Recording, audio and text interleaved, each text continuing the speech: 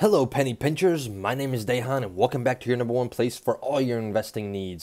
In today's video, we are going to be going over four penny stocks to watch going into next week and the following weeks after that.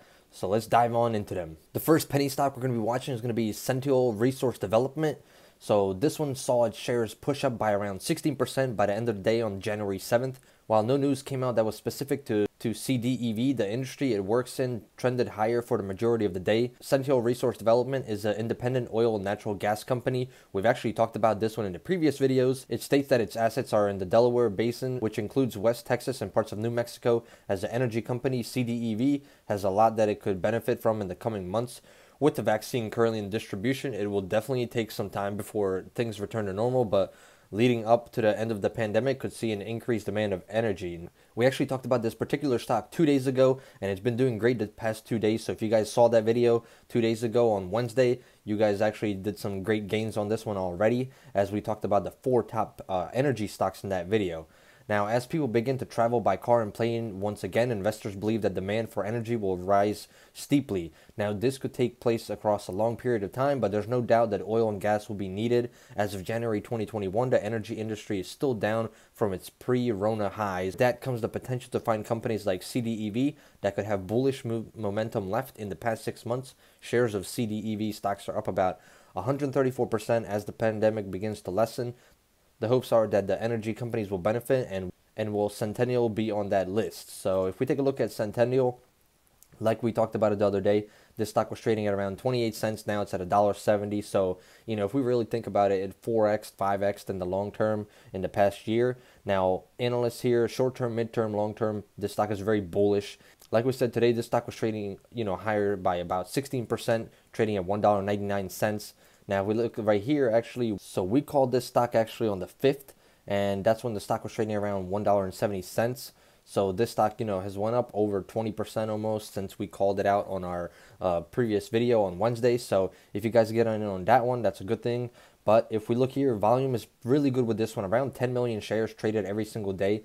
We've seen this pop in the past month ever since Biden and the election, I guess you could say. The stock went up about 200% since then. And volume is picking up every day. 10 million shares here. If we take a look here in the previous day, over 13 million shares again. So this one has a lot of potential going through the rest of the year and definitely going into the rest of January. So keep a very close eye on this one. Now guys, as always, if you guys enjoyed this video, if you made it this far into the video, go ahead and smash that like button for me. Let's aim for 150 likes on this video. Let's do it guys, come on. Also, go ahead and subscribe to the channel and turn on that bell notification so you get notified every time I make a new video. I make videos on penny stocks every single day. I make videos on dividend stocks, blue chip stocks, and just any type of stock investing in general. We just broke 11,000 subscribers. Let's aim for even higher, guys. Thank you for all you guys do for me. The second penny stock on our list is going to be Foresight Autonomous Holdings. So this company operates as a tech business specializing in the development and design of sensor systems for automobiles. This includes the LiDAR sensors as well as the advanced algorithms for detecting accidents before they actually happen. So the LiDAR, you guys already know, is a huge thing. NIO, we're expecting some huge news on Saturday, and a lot of people are, you know, predicting it's going to be some LiDAR information with it. Now, this type of technology is increasingly becoming commonplace in the new automobiles. Uh, with driver safety in mind, FRSX has become a big name in the world of both inline, offsite, and, and beyond the line of sight programs. One of the aspects of the offer FRSX, a lot of potential is its cost effectiveness.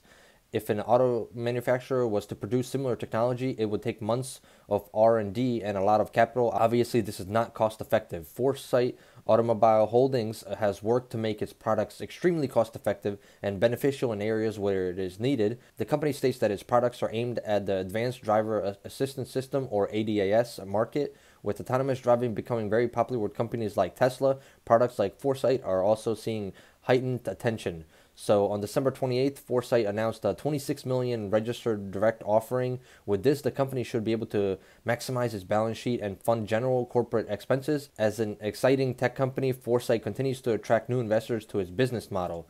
Now with this one, this one's been on the boom. So this stock was trading around 50 cents at the beginning of 2020. Now it's at over $4.50. So that is a huge, huge, huge gain right there, 800% or so. Now volume has been picking up lately. As you can see here, look at this. The stock about two weeks ago, three weeks ago, was trading at $1.76. It's went up over 100% Then, then. The volume is picking up 43 million shares right there, 136 million shares, and then it sold off a little bit with the volume being a little bit lower. But the stock hit highs here about $6.45, and then we made a pullback. Now, what we're going to be looking forward to right here is for the stock to consolidate around this $4 area, build up a new support level around that $4 area, and then continue to trend on up as we go through 2021. So this one is a very, very big one, especially with all these EVs coming out. And NIO has some huge news on Saturday coming out with us with NIO Day. Tesla is doing amazing things. I mean, Tesla is at over $800 a share. NIO is at about $54 a share. These automobile companies are just booming right now, and that is the future. And that's what we're going to, you know, be keeping a very big eye out on in 2021 as these stocks are going to continue to boom as they did in 2020 as well. This is just the beginning of things to come in the future. Third penny stock on our list is going to be Orbital Energy Group. So Orbital Energy Group, on Thursday, January 7th, shares of OEG stock shot up by about 33% to end the day. That is a huge gain. Since July, shares of OEG stock are up about, you know, a 365% gain. It's important to keep in mind that a large portion for the energy industry has grown in that time period. This is due to the various milestones we've reached with the combating uh, Rona. Additionally, investors should take note that OEG stock is quite volatile. With this in mind, let's take a look at why investors are talking about Orbital Energy. Instead of operating as an energy company directly, Orbital Energy owns several subsidiaries that operate throughout the industry. This includes Orbital Gas Systems, Orbital Power Services, and Orbital Solar Systems, amongst others. These companies work by providing solutions to the various needs of the energy industry. This could be anything from gas sampling to construction and emergency response solutions. As you can see, Orbital Energy is quite broad in its business model, which is big because they're, you know, diversified in what they do. That means they have, you know, many opportunities in their market, which is a great thing.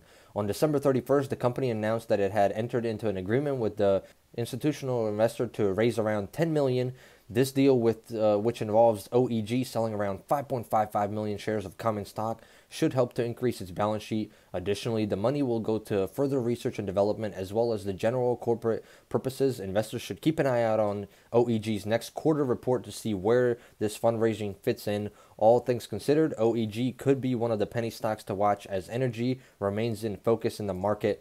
Once again, like we talked about in the first pick on this video, and also the picks two days ago that we had on our video, these energy penny stocks are booming. These energy penny stocks have so much potential, especially like we said, Biden is the president now, and the clean energy, renewable energy stuff is getting you know really big right now. That's the future, and you know this stock has been rising here, as you can see. Uh, you know, for the past few days, it's been doing very, very great. I mean, it's already went up about 70 or 100% almost just in the past week or two.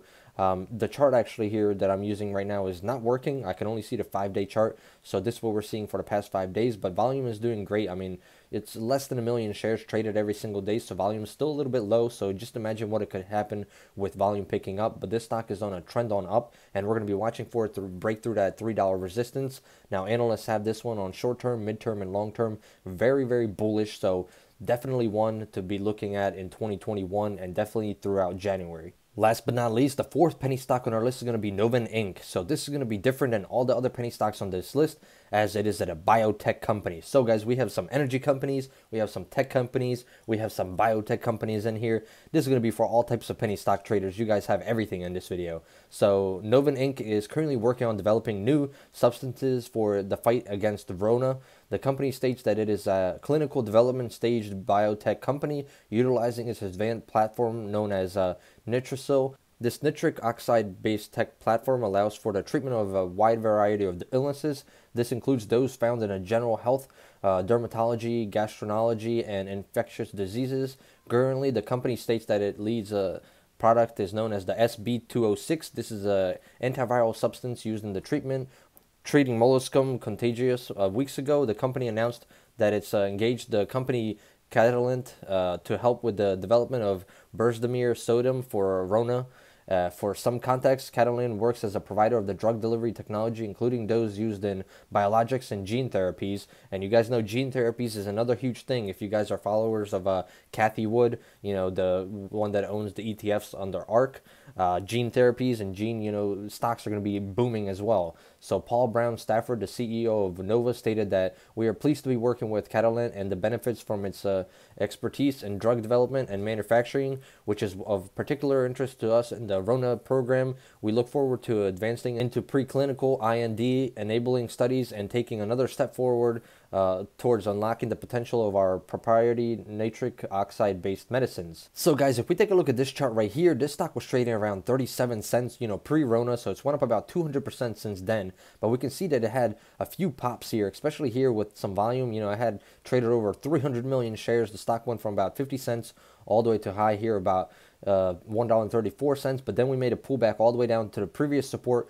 which was at that 35 cents area, bounced off of the support and continued to trend on up. And we can see here in the past month or so, the stock has went up from about 47 cents all the way here to highs of about a dollar and 18 cents. So over 100% gain, almost 200% gain on this, but volume is still very, very low. But once once again, we see here another pop, 150 million shares traded, and the stock, you know, continue to boom. So volume is a key player with this penny stock, as you know, it is under a dollar right now. So volume is key. It takes a you know a lot of volume to pick through it and push it through, but it's not that hard to push through because the, it's such a cheap stock that volume can pick up very, very quickly. And we're definitely going to be looking at this one, especially with gene therapy and different things that are coming out in 2021. So definitely keep this one on your radar, guys, for the rest of the month and just going into 2021. So guys, I really hope you guys enjoyed these four penny stocks that we talked about here. And like we said, we always have some diversification in our videos as we had different things. We had energy stocks, we had biotech, we had regular tech companies.